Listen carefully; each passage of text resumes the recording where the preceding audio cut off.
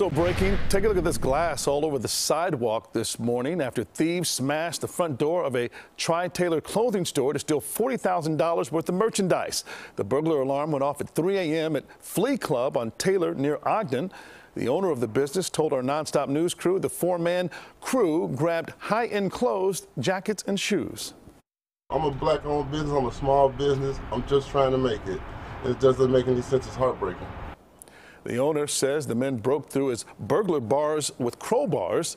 Police are investigating, but no one is in custody for this robbery that just happened.